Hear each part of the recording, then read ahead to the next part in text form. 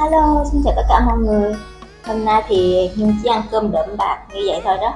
Cá hường chiên xả nè Với ờ, hương xào mực à, Đậu rồng chấm mắm chua mọi người. Mời mọi người ăn cơm chung với Nhung nha. Chưa ăn mà mình khát nước trước rồi.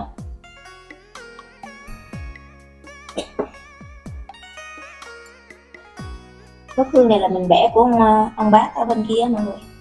Ông bác ông trồng á ông chỉ lấy, ông để dành mớp già, ông đặng lấy cái ruột mớp à. Ông không ăn trái non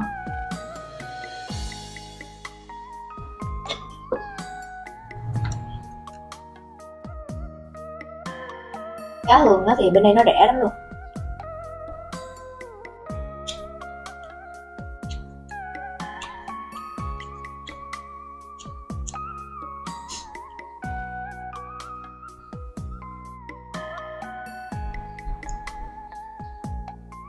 Mấy bữa nay trời bên đây nắng nóng lắm luôn rồi.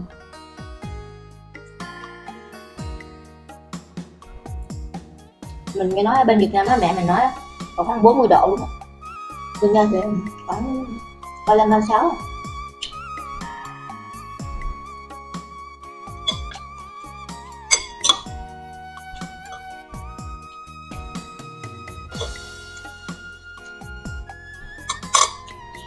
rồi rồi mình trồng bên kia ăn không ăn không kịp, nó luôn nó ra nhiều quá.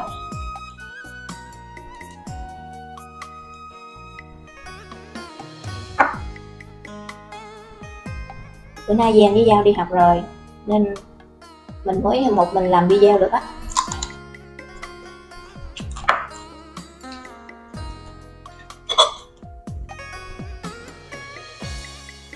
Ừ. Nấm chua này mà có thịt luộc nữa ha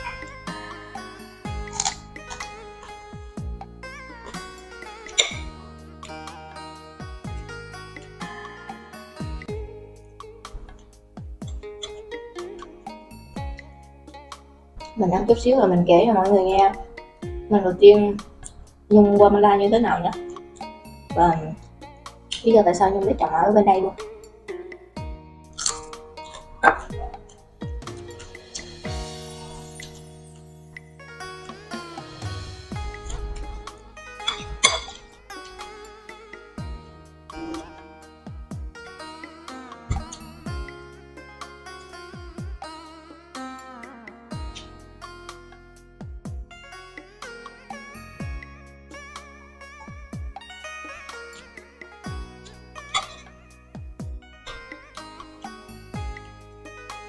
Đói bụng quá. Ăn lấy sức là mới kể được.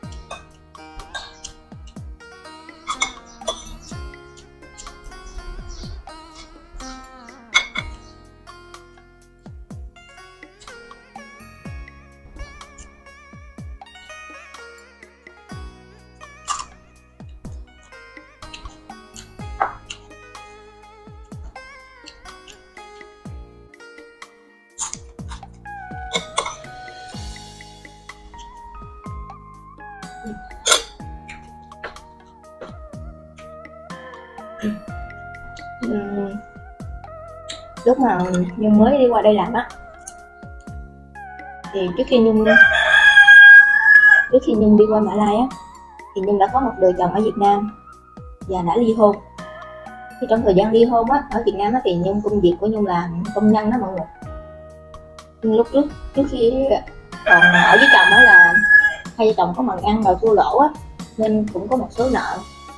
Khi mà ly hôn xong á thì mình nhung tôi phải nuôi hai đứa con và phải trả nợ nữa nữa. Nên nói chung là lương công nhân của nhung á, một tháng chỉ có ờ, cao nhất là bảy triệu mấy, là tăng ca suốt luôn á mọi người. Mà làm vậy đó mà cũng không đủ nữa nợ từ trước khi chị nhung á, thì cũng ở qua đây làm trước. Thì thấy nhung, cuộc sống hơi hơi ấy vậy đó, nên chị nhung hỏi nhung là, có qua đây làm không? Thì chị nhung sẽ mua vé máy bay cho nhung qua đây. Thì nhung qua đây dưới dạng là du lịch đó mọi người. Mình mua vé máy bay qua đây xong rồi mình ở bên đây luôn. Mình không về nữa. Là mình mình đi dạng du lịch thì mình chỉ ở bên đây được à, 30 ngày. Mình không về thì mình ở luôn bên đây á, thì mình sẽ là giống như là người bất hợp pháp á mọi người. Mình ở lậu á.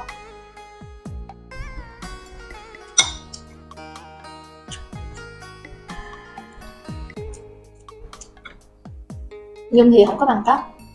Thì mọi người cũng biết rồi đó. Nếu mà mình qua đây mình quen biết nhiều á thì mình có thể đi bán quán ăn nè. Cũng có rất là nhiều việc làm yến nè. Rồi cũng có người đi làm gái nè. Thì cũng có người ờ, đi rót bia. Cũng rất là nhiều công việc. Thì nhung mới qua đây á công việc của nhung là đi rót bia ở trong quán karaoke á mọi người. Bên đây kêu là tv nhung qua đây hồi lúc uh, tháng 9 ngày 20 tháng 9 2016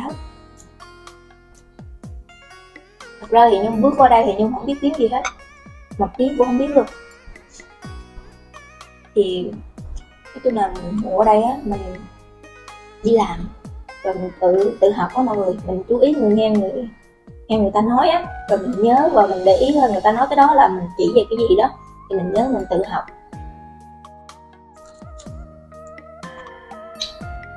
Cứ mà nhung qua đó, là chị của nhung đang làm chỉ tờ kết hôn chị cũng ở bên mình nhiều, chị ở bên chồng của chị á. Nên mọi thứ mình cũng phải tự tự học tự nói chung là tự ơi mình làm hết á. Mình đi rót bia từ 8 giờ 8 giờ tối. Cho khi nào mà hết khách thì mình được về sớm. Còn nếu mà khách ở tới chơi tới sáng thì mình ở tới sáng mà nhung không không biết uống bia mọi người nhung uống bia không được. Mà làm cái nghề đó đó thì đa số là người ta uống bia rất là giỏi luôn. Bia rượu rất là giỏi.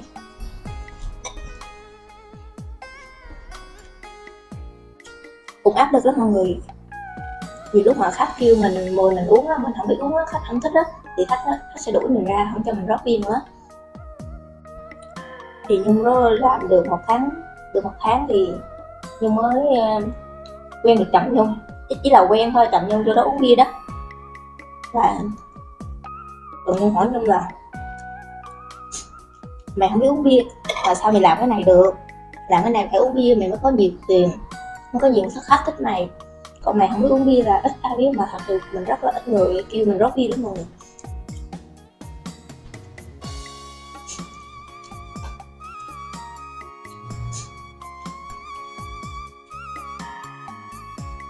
Khi mà nhung qua bên malai á, nhung không có tiền luôn. Nhung mượn tiền của chị của nhung không á. Khi mà bước táp xuống malai á là trong người nhung không có một đồng luôn, mọi người. Thì nhung cho nhung được à, một trăm mã, một trăm mã bên đây á, ra vào túi á. Là khoảng năm trăm mấy tiền việt nam luôn thì nhung làm thì ngày nào rất đi đó, ngày nào lấy tiền ngày đó. Nhung làm được à, được hai tháng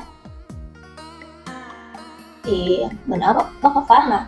Nếu mà công an bắt được mình đó thì một là mình ở tù hai là mình có người chuột ra thì mình ra không có người chuột thì mình ở tù ở tù xong thì nó trả mình về việt nam.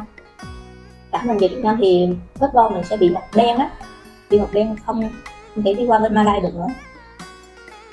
Nhưng làm được ờ, tới ngày nhưng qua ngày 20 20 tháng 9 thì tới ngày 10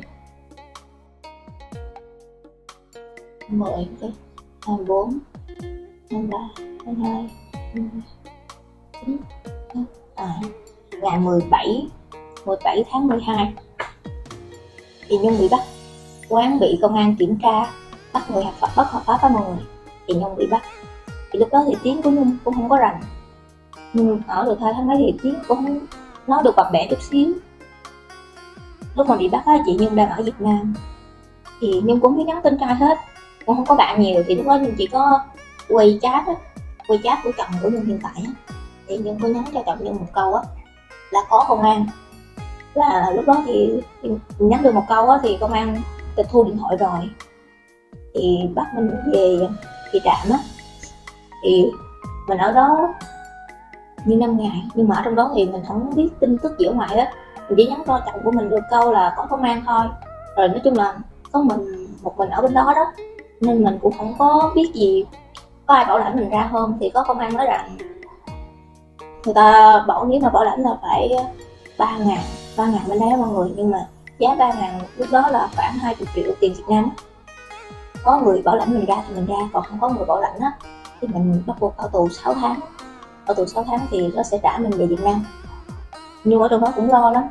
Rồi mỗi tự mỗi tháng á nhưng mới qua làm lãnh tiền ngày nào dư được chút xíu là nhưng gửi về cho con nhung ở Việt Nam chứ trả nợ ở Việt Nam.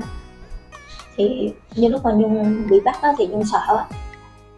Nhung sợ là không biết con con nhung ở ngoài á con nhung ở Việt Nam sẽ ai nuôi. Mà đường đuổi mà nhung bị ở tù 6 tháng á thì không biết ra làm sao luôn nhung không biết.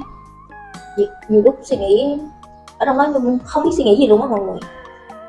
Nhưng mà cũng hên á thì ở trong đó họ nhốt thì cũng không có làm gì mình chỉ ở trong cái phòng đó, đó họ nhốt chung là sáu người một phòng thì ở trong đó thì sáng đó thì có người phát cơm ăn trưa có cơm ăn tối có cơm ăn chỉ có ăn rồi ngủ thôi đó.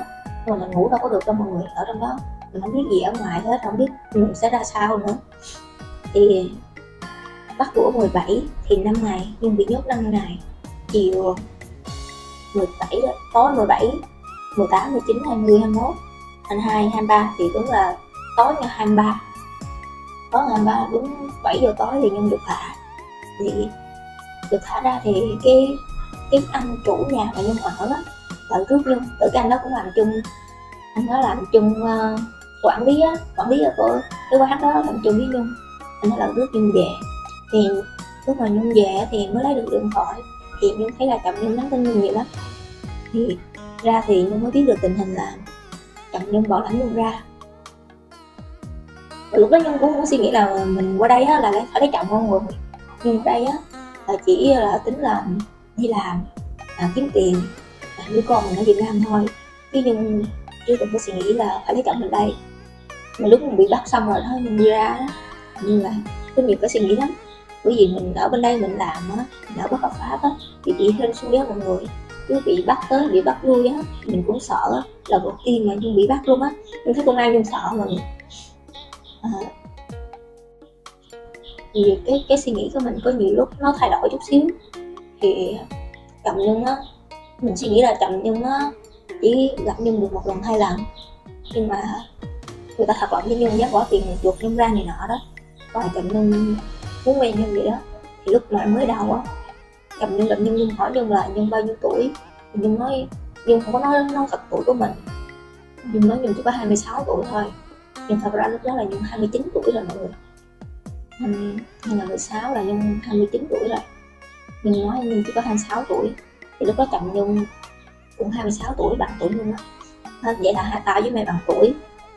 Nhưng mà lúc mà nhung ra rồi á, chồng nhung hỏi lời muốn làm quen với mình á, thì nhung có nói thật á là nhung 29 tuổi và nhung đã có hai con hai, con gái ở việt nam. Mình hỏi chồng nhung là nếu nhung đã có con như vậy rồi thì chồng nhung có muốn quen nữa không? Với lại bây giờ nhung vẫn còn thiếu nợ ở việt nam nhưng cần phải đi làm kiếm tiền. Nuôi con trả nợ ở việt nam nữa. Thì chồng nhung nói là anh cứ mặt lòng à nên anh không có suy nghĩ tới à, nhung có chồng hay là có hai con gì hết anh chỉ suy nghĩ anh chỉ suy nghĩ là hiện tại nhung có một người rất là tốt. À, anh muốn giúp đỡ nhung yêu thương nhung chăm sóc cho nhung với phụ nhung chăm sóc cho con ở việt nam. Thì nhung cũng đồng ý quen chỉ quen thôi nha. Chưa chưa kết hôn đó mọi người. À, thì nhung quen được rồi là 16 nhung quen trên chốc nhung 2 năm. Thì mình thấy anh đó trong vòng 2 năm đó đó chồng nhung cũng phụ nhung à, nuôi con nhung phụ nhung trả tiền ở việt nam. Mỗi tháng anh cho mình một số tiền á để gửi về việt nam rồi đó còn mình đi làm thì mình lấy tiền riêng. Chồng mình thì cũng không giàu đâu mọi người chồng mình cũng dân là bình thường ở bên đây thôi. Còn mình chỉ là một nhân viên sửa xe xe bốn bánh đâu đó mọi người. À, thì một tháng lương của ảnh thì ba khoảng là ba ngàn máy sinh á ba ngàn máy sinh thì đổi qua bên đây khoảng là chín chín mươi ngàn khoảng bốn mấy năm chục triệu gì đó mọi người. Có vậy thôi. Và anh cũng phụ mình làm thì quen được 2 năm thì nhung thấy chồng nhung cũng nhiệt tình này nọ đó. Thì nhung mới bắt đầu uh, tiến tới hôn nhân kết hôn. Thì 2018 thì nhung mới là kết hôn. Trong trong ngày mà nhung kết hôn thì nhung cũng cũng có nhiều lúc là hạnh phúc hơn nhiều. Một số người khác đó là nhung được đám cưới đó mọi người nhung được đám cưới là và nhung bước ba nhung và hai con gái của nhung qua nữa.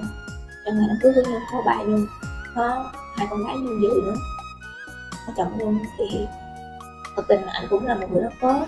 Không ai mà có trọn vẹn cả thì cũng có một tính xấu gì đó nhưng mà cái xấu nó có thể mình bỏ qua được á thì nó có thể chung sống được á mọi người. Nói chung là ông mình yêu thương con mình phụ, phụ giúp mình nuôi con. Hiện tại á thì anh cũng phải mỗi tháng phải gửi tiền để cho con nhung ăn về nọ nữa. Nên nhung rất là tôn trọng tôn trọng chồng mình hiện tại còn nhiều còn nhiều chuyện buồn lắm mọi người, nhưng mà hôm nay nhung chỉ kể bao nhiêu đó thôi nha. Nếu mà kể nữa là nhung không biết là còn nhiều chuyện lắm trong vòng mà trong lúc mà nhung mới qua trong vòng hai tháng đó đó, hai tháng nhung mới bị bắt là còn rất là nhiều chuyện, có nhiều chuyện xảy ra lắm. Và bây giờ thì nhung kể bao nhiêu đó thôi nha.